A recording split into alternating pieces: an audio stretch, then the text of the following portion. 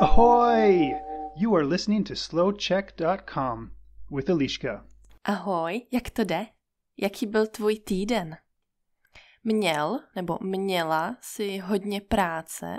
Nebo seš taky na dovolené jako já?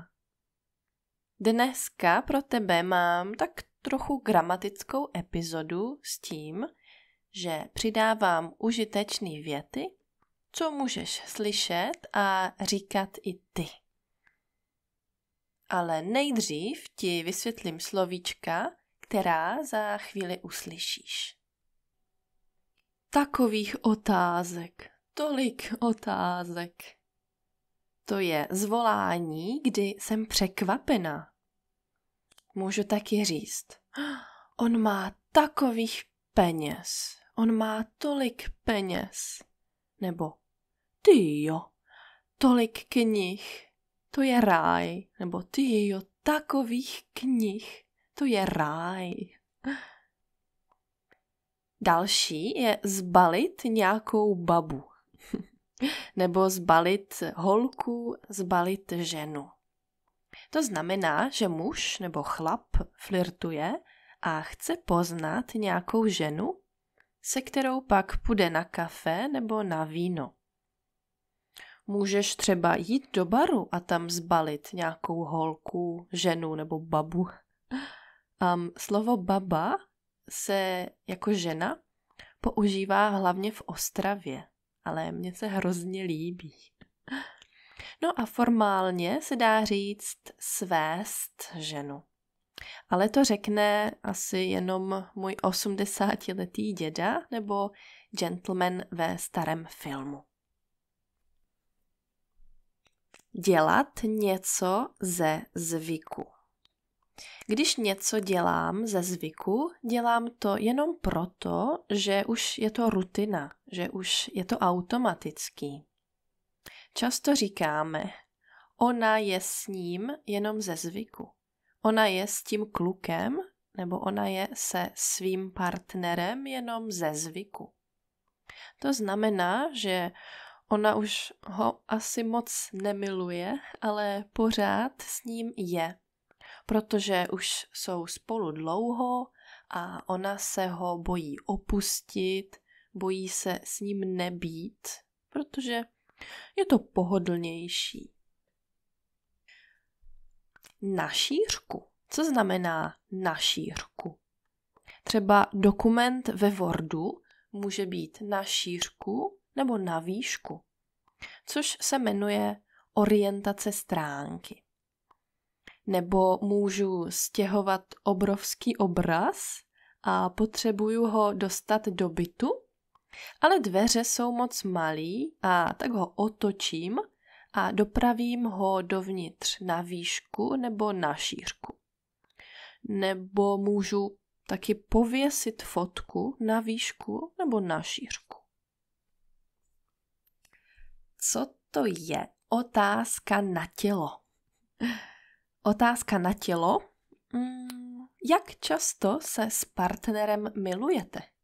Kde jsou tvoje erotogenní zóny? Nebo kolik vyděláváš peněz? Otázka na tělo je nepříjemná otázka, která může být někde tabu. A může být i politická, kulturní nebo sexuální. Rozšířit si obzory znamená naučit se něco nového. Když si rozšiřu, rozšiřuju obzory, když si chci rozšířit obzory, chci se dozvědět eh, něco nového.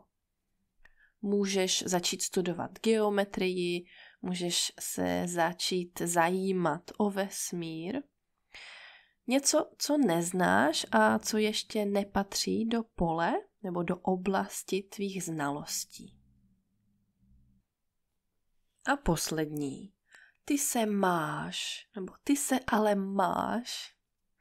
E, například máš tento týden dovolenou a já ti závidím a tak ti řeknu. Je, ty se máš, já chci taky dovolenou.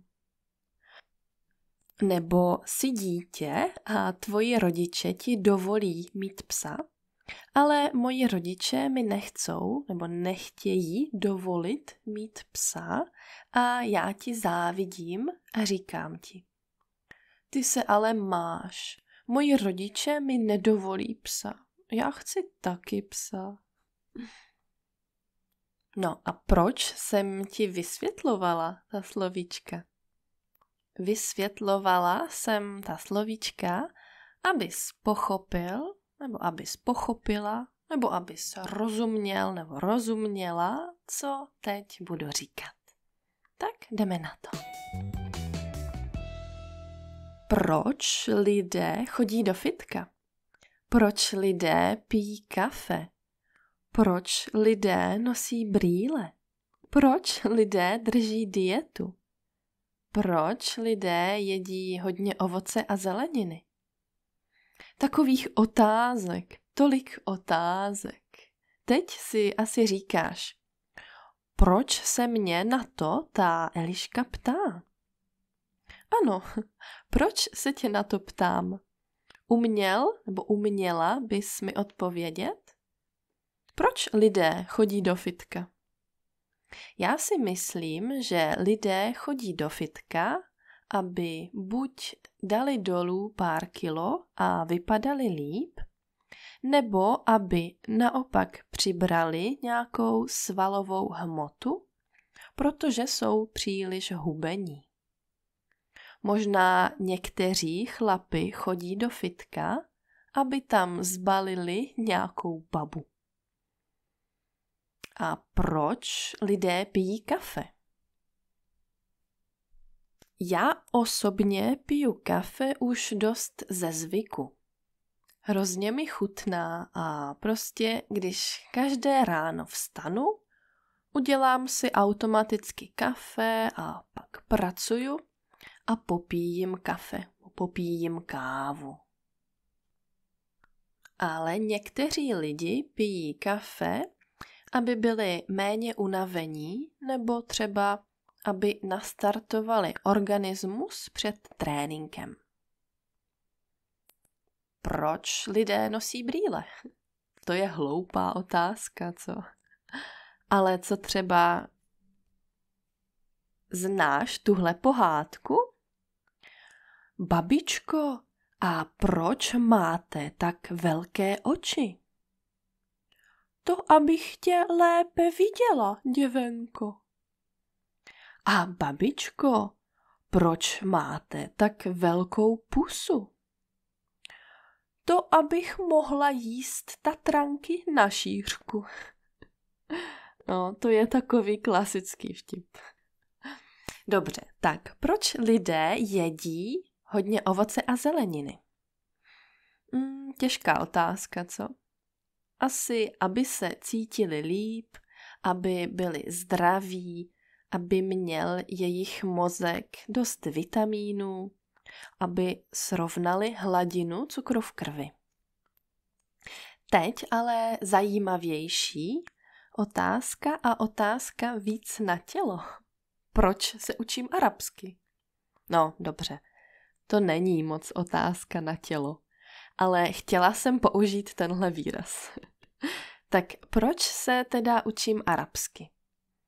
Učím se arabsky, abych rozuměla jazyku, kterým mluví 500 milionů lidí. Učím se arabsky, abych mohla pobavit svoje arabsky mluvící přátelé. Učím se arabsky, abych mohla svým arabsky mluvícím studentům ukázat, že čeština není tak těžká a že v podstatě čeština a arabština si jsou hodně podobný. A konečně učím se arabsky, abych si rozšířila obzory a abych se dozvěděla něco nového, užitečného a zajímavého o jiných lidech a o jiných kulturách.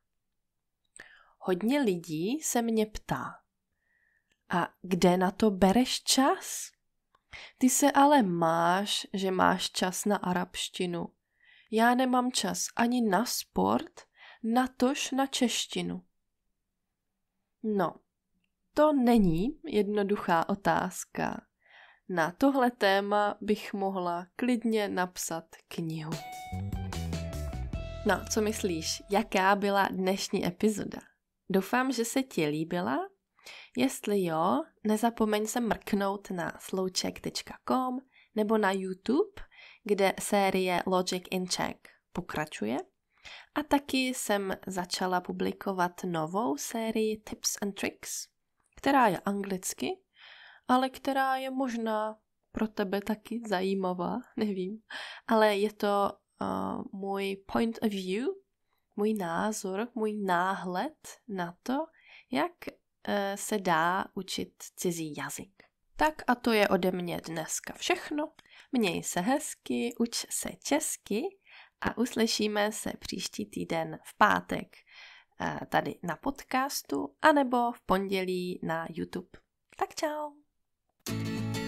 You can find more podcasts for different levels on SlowCheck's website, Facebook page, and YouTube channel. This is slowcheck.com.